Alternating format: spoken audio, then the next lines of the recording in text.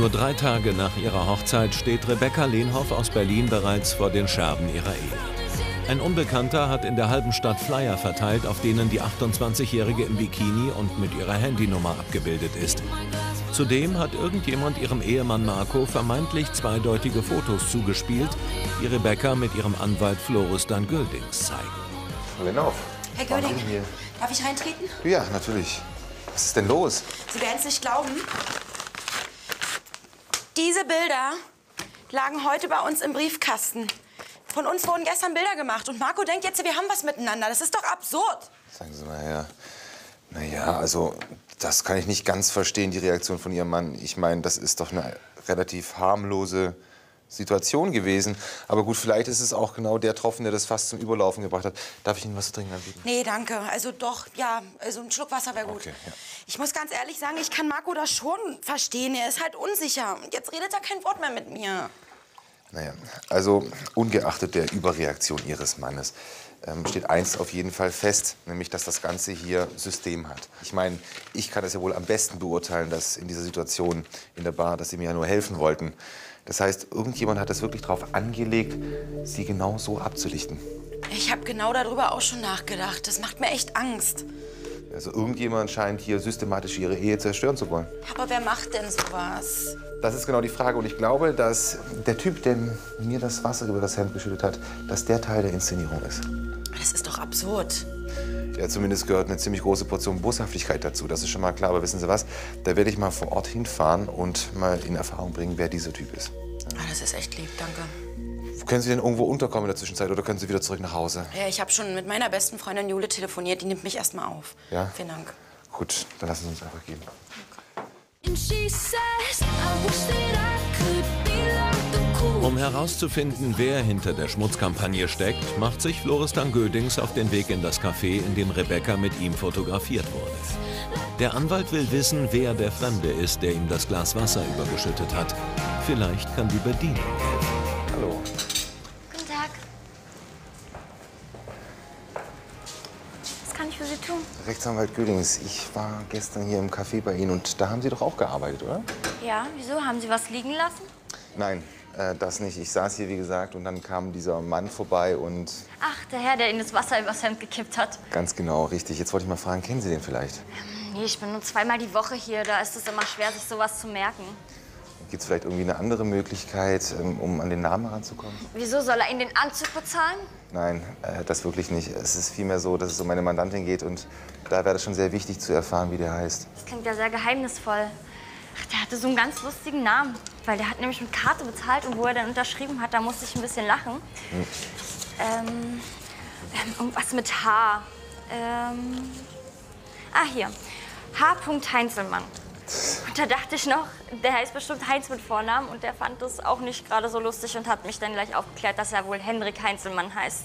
Okay. Ja, ein komischer Name, aber auf jeden Fall haben Sie mir das sehr geholfen. Vielen Dank an der Stelle. Das freut mich. Ja, wünsche Ihnen einen schönen Tag. Dankeschön, gleichfalls. Tschüss. Manchmal lohnt sich so eine mühselige Recherchearbeit eben doch. Und jetzt werde ich erstmal eine Einwohnermeldeamtsabfrage machen. Das kann bei diesem Namen ja nicht wirklich schwierig sein. Und dann werde ich diesem Herrn mal einen Besuch abstatten.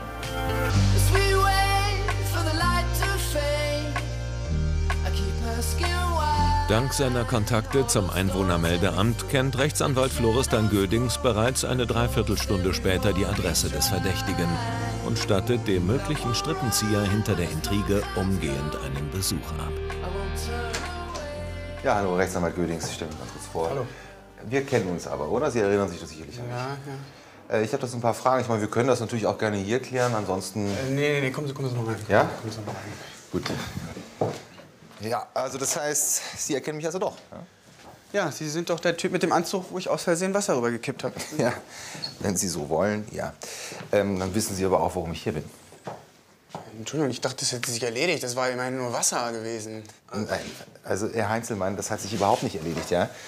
Das Ganze hat ganz weitreichende Konsequenzen gehabt von der ganzen Sache mit dem Wasser. Wurden nämlich Fotos gemacht und äh, das hat dann ihre Bahn, seine Bahn gezogen. Aber Fotos, ich weiß gar nicht genau, worauf Sie hinaus wollen. Also Heinzelmann, ganz ehrlich, ähm, entweder Sie sagen mir jetzt das mit den Fotos und wer das war und wie das war, oder aber wir gehen zur Polizei, dann klären die das. Also, Rebecca muss mal selber wissen, was sie so tut, ja? in Ihrer Freizeit, wenn Sie Ihre Ehe Ganz retten kurz, will. Herr Heinzelmann, woher kennen Sie den Namen meiner Mandantin? Ja, okay. Ich, ich habe mit Absicht Ihnen Wasser über das Ding gekippt. Warum? Ja, weil sie mit der halben Stadt rumflirtet. Sie geht mir um den Sack. Also äh, ganz ehrlich, also ich verstehe das Ganze nicht. Woher kennen Sie denn meine Mandantin, die Frau Lenhoff? Lenhoff? Ich denke, äh, sie heißt Wittkamp. Naja, also wir hatten halt ein paar Monate eine Affäre und dann hat sie halt vor zwei Wochen Schluss gemacht. Ich liebe sie halt immer noch. Und jetzt folgen Sie ihr. Ja, ich, ich weiß, das kommt ein bisschen stalkermäßig rüber. Aber ich kann es einfach nicht ertragen, wie sie die ganzen Männer immer trifft. Deswegen bin ich ihr hinterhergelaufen und habe versucht, ihre Dates zu versauen. Das soll ich Ihnen jetzt glauben. Also das ist ein bisschen merkwürdig ist das schon. Ich meine, jetzt mal unterstellt, Ihre Geschichte würde stimmen. Dann wäre das doch so, dass meine Mandantin Sie doch wiedererkannt hätte in dem Restaurant, oder nicht? Ja, das ist ja, ist ja gerade der Wahnsinn. Sie, sie, ich habe das jetzt schon öfter gemacht. Sie, sie ignoriert mich einfach mittlerweile. Sie nimmt mich gar nicht mehr wahr. Herr Heinzelmann, das soll ich Ihnen jetzt abnehmen, oder wie? Ja, klar. Also, Fragen Sie doch Rebecca. ja, das werde ich, Ich habe Ihnen die Wahrheit gesagt. Gut, Herr Heinzelmann, das werde ich auch tun. Ich werde die Rebecca mal befragen und dann melde ich mich gegebenenfalls bei Ihnen nochmal. Ich finde alleine raus. Dankeschön. Danke auch. Also wenn das wirklich stimmt, dass Frau Lenhoff eine Affäre mit dem Herrn Heinzelmann hatte, dann hätte sie mich darüber auf jeden Fall informiert. Ich bin wirklich gespannt, was sie dazu sagen wird und ich werde sie jetzt erstmal aufsuchen.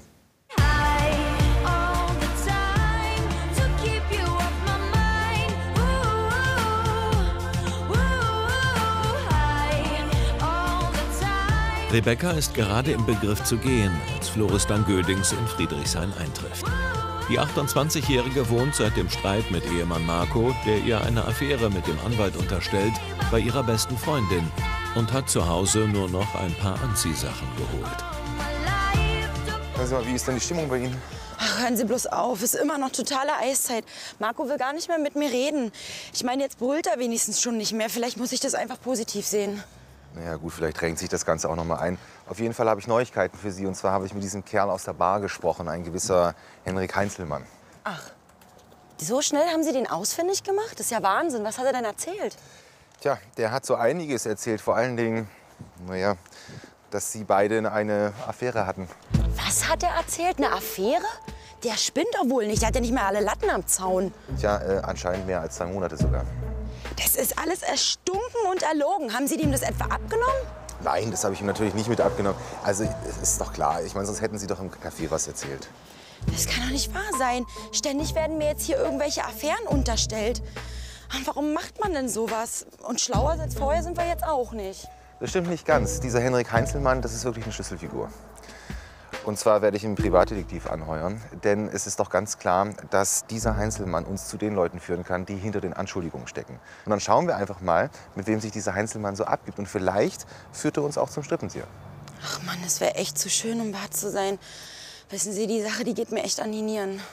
Frau Lenhoff, jetzt halten Sie noch ein bisschen durch. Das haben wir fast geschafft. Ne? Ich melde mich dann, sobald ich was Neues habe. Okay, vielen Dank. Machen Sie es gut. Ja? Schönen Tag noch. Sie auch. Tschüss. Also so langsam weiß ich echt nicht mehr, was mir geschieht. Ständig eine neue Ohrfeige. Jetzt werden mir hier schon Dinge unterstellt, dass ich eine Affäre habe. Ich werde jetzt morgen, ich gebe Marco jetzt noch mal einen Tag Zeit und morgen werde ich dann noch mal mit ihm reden. Nach einer unruhigen und einsamen Nacht fasst sich Rebecca ein Herz und besucht ihren Mann am frühen Nachmittag auf der Arbeit. Die 28-Jährige will, dass der Schreiner endlich begreift, dass sie ihn niemals betrügen würde und sie erst recht keine Affäre mit ihrem Anwalt hat. Marco? Marco? Was willst du hier? Ich muss mit dir reden. Ich habe zu tun. Aber willst du denn gar nicht wissen, was ich dir zu sagen habe? Pass auf, das ist eine Werkstatt hier. Das ist gefährlich. Ich habe dir schon tausendmal gesagt, komm hier nicht her.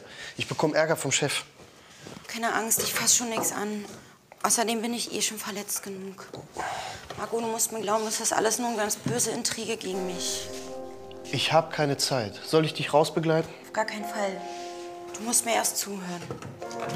Warum sollte ich in aller Öffentlichkeit mit meinem Anwalt rummachen? Das macht doch gar keinen Sinn. Das habe ich auch geglaubt. Aber mittlerweile, Hier will uns jemand mit allen Mitteln auseinanderbringen. Hör doch mal auf dein Herz. Du weißt doch, dass ich nicht so eine bin. Wir gehören doch zusammen. Weißt du was? Das dachte ich auch. Aber diese Flyer, diese Bilder. Ich habe das Gefühl, dass du mich nach Strich und Faden bescheißt. Und es tut mir auch ganz doll leid. Aber ich habe mit diesen Anschuldigungen wirklich nichts zu tun. Ich war dir immer treu. Und ich werde dir auch immer treu sein.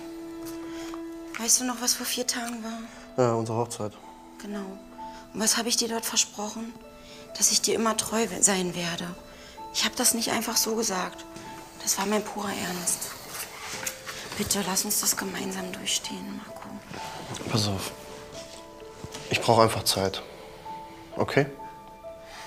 Okay, ich werde dir die Zeit geben. Ich äh, komme vielleicht heute Abend dann noch mal vorbei und vielleicht möchtest du dann noch mal mit mir reden.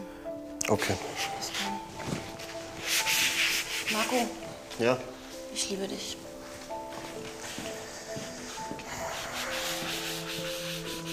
Vielleicht hatte Rebecca ja recht und hat an der ganzen Sache keine Schuld. Ähm, bei dem ganzen Durcheinander weiß ich gar nicht mehr, was ich glauben soll. Also ich wünschte einfach nur, dieser ganze Spuk wäre zu Ende. I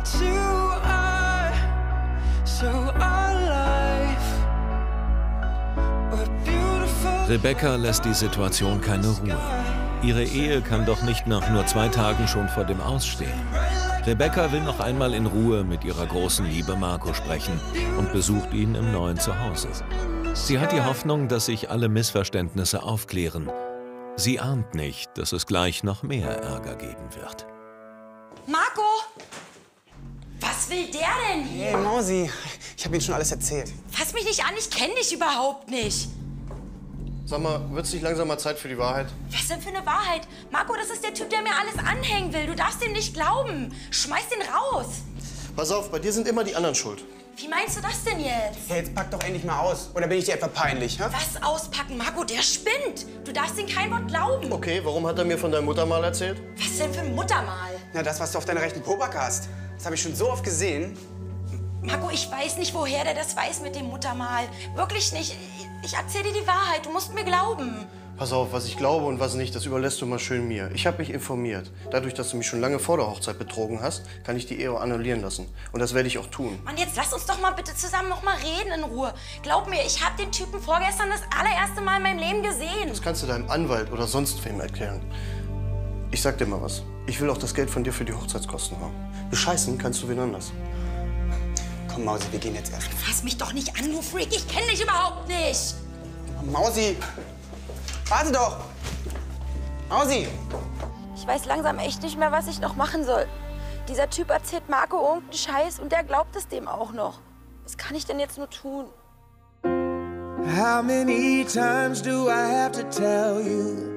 Even when you're crying, you're beautiful too. Um herauszufinden, welches perfide Spiel Henrik Heinzelmann treibt, setzt Rebekkas Anwalt umgehend Privatdetektiv Ronny Bauer auf ihn an. Floristan Gödings stößt nach seiner Arbeit in der Kanzlei dazu. Hallo. Ja? So. Und wie lange ist er denn schon da? Halbe Stunde bestimmt.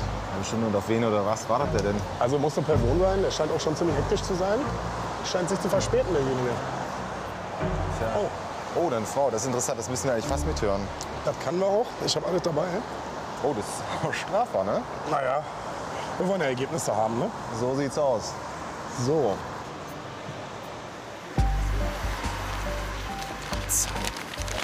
Zähl nach und dann heul nicht mehr rum. Ja, 500. Danke dir nochmal, dass alles so gut abgelaufen ist. Kein Ja? Problem. Also wenn irgendwas ist, ich muss halt wieder rein, weißt du? Aber Nummer hast du, wenn irgendwas ist, Ja, ja. rufst du an, ja? Alles klar, ciao. War ja sehr aufschlussreich. Das würde ich meinen. Soll ich, soll ich ihm weiter folgen? Nee, ich glaube, das bringt nichts mehr. Der ist fertig, der Typ. Aber bleib an der Frau dran. Das ist noch interessant. Ja, dann gehe ich mal da rein und schau mal, was ich rauskriege. Alles klar, dann lass uns telefonieren, ja? Bis später. Bis später. Also allem Anschein nach wurde Herr Heinzelmann gerade geschmiert. Und das alles, um meine Mandantin in das Licht zu führen. Es ist aber erst sehr gut, dass ich hier Fotos gemacht habe und das Ganze jetzt auch beweisen kann. Und mit diesen Beweisen werde ich morgen zu Herrn Lenhoff gehen und dafür sorgen, dass er sich das mit der Eheannullierung noch mal ganz genau überlegt. Gotta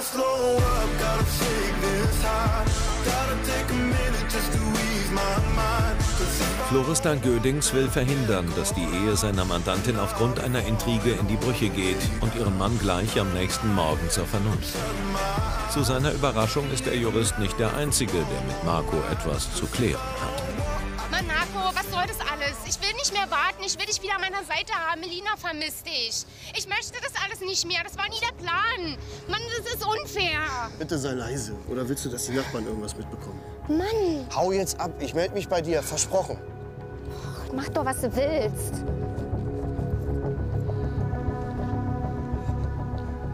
Herr Lennoff. Ja? Hallo. Ja, Rechtsanwalt Gödings, Sie kennen mich ja. Ich bin der Anwalt Ja. Ihrer Frau. Ich wollte mich mal ganz kurz mit Ihnen unterhalten. Sagen Sie mal, wer war denn eigentlich diese Frau? Äh, das war meine Innenarchitektin. Okay, ja. Gut, die hat ja ein ganz schönes Temperament. Ne? Ja, Künstlerin halt, ne? Hat eine Menge Allüren, sollte eigentlich nur meine Möbel rücken. Ja, gut, die lassen sich ja sehr ungern ins Handwerk reinpfuschen. Das stimmt.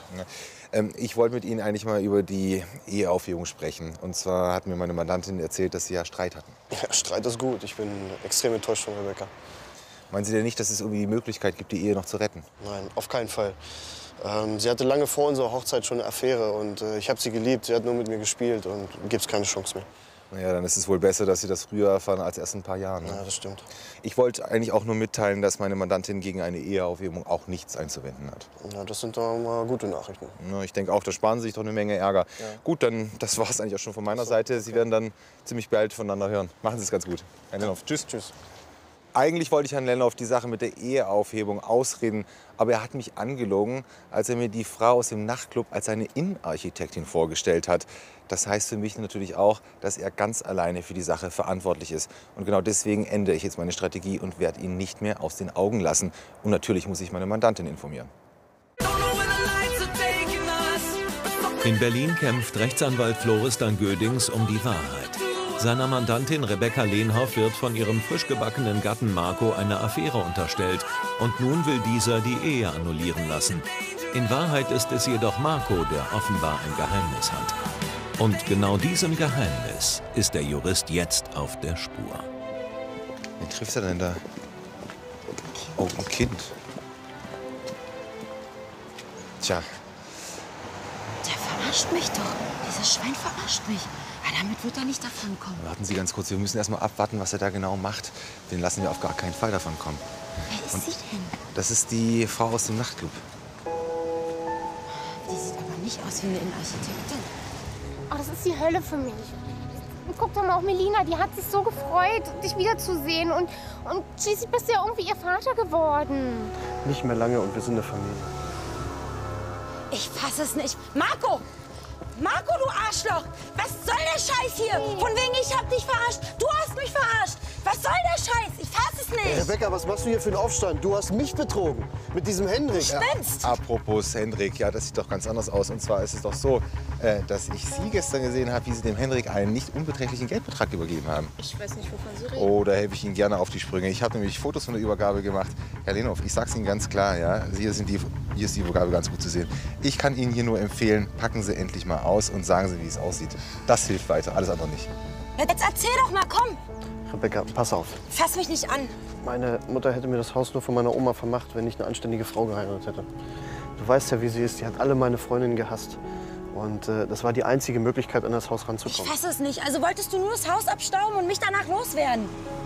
Rebecca, mein, meine Mutter hätte Tanja niemals akzeptiert. Sie hat ein Kind, arbeitet in einem Nachtclub. Das passt nicht in ihr Bild von richtiger Schwiegertochter. Tja, da äh, muss ich mal festhalten. Also Sie haben es tatsächlich geschafft, ja, dass Sie meine Mandantin über den Tisch ziehen, damit Sie Ihre eigene Mutter über den Tisch ziehen können. Respekt, ja. Also dazu gehört wirklich eine große Portion Dreistigkeit.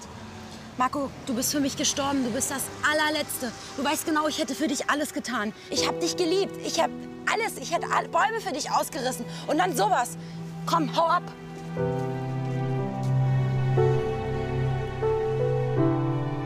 Das ist für meine Mandantin natürlich ein ganz harter Schlag. Nicht nur ihr Vertrauen, vor allen Dingen ihre Liebe wurden schonungslos ausgenutzt. Und ich hoffe wirklich, dass sie sich von dieser Enttäuschung erholen kann. Jedenfalls wird die Ehe so schnell wie möglich aufgehoben. Dafür werde ich sorgen. Drei Wochen nach dem schockierenden Eheaus konnte Rebecca in ihre alte Wohnung zurückziehen und hat mit Freundin Jule ihre restlichen Sachen bei ihrem Ex abgeholt. Mit dem heutigen Umzug will die 28-Jährige das Kapitel Marco endgültig hinter sich lassen. Dann auf dich und dein Leben ohne Marco. Ich freue mich schon total darauf. Und der Anwalt hat sogar gesagt, dass ich nicht mal vor Gericht dabei sein muss. Das klärt er ganz alleine. Ach, super. Ja. Dann läuft es jetzt alles mit der Scheidung, ja? Noch besser. Nicht er wird die Ehe annullieren, ich werde die Ehe annullieren. Ich habe schön den Spieß umgedreht. Super. Also wenn du jetzt quasi nochmal heiraten würdest, dann wäre das deine erste Ehe. Ja, theoretisch schon, aber ich habe erst mal die Schnauze voll davon. Erwartest du Besuch? Eigentlich nicht. Bis jetzt kennen nur wenige Rebeccas neue Adresse. Umso überraschter ist sie, dass es sich bei dem unangemeldeten Besuch um ihre Ex-Schwiegermutter Iris handelt. Ich habe mich auch entschlossen, äh, die Schenkung des Hauses rückgängig zu machen. Ne? Du, ich bin so enttäuscht von dem Jungen, verstehst du? Du, sorry, dass ich jetzt lache. Es soll auch absolut nicht fies klingen oder so, aber das ist schon eine kleine Genugtuung für mich. Ich verstehe schon, weißt du. Aber im Nachhinein muss ich dir doch noch was sagen. Du, ich hätte dich wirklich wahnsinnig gern als meine Schwiegertochter gehabt. Ne? Du bist schon eine starke Frau und tough dazu. Also das muss ich wirklich zugeben. Iris, danke für die netten Worte. Und wenn du mal irgendwie Hilfe brauchst oder einfach Sorgen hast oder nur einen Kaffee trinken gehen möchtest, du kannst dich gern bei mir melden. Weißt du, herzlich gern. Ich habe deine Zeit jetzt genug in Anspruch genommen. Ihr habt ja noch viel Kein vor. Ding. Nochmals vielen Dank. Ne? Ich bring dich noch zur Tür. Ja, danke. Ich finde das echt eine starke Geste von Iris. Hat mich echt gerührt. Und wenn sie Hilfe braucht bei der Rücknahme der Hausschenkung, ich kenne einen guten Anwalt. Während sich Rebecca einen Monat später über die Eheannullierung freuen kann, wurden Marco und Tanja wegen Verleumdung zu jeweils 1200 Euro Geldstrafe verurteilt.